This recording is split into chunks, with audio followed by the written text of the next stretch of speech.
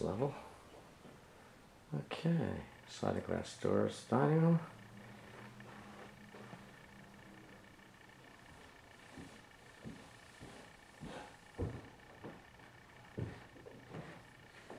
And through the front door.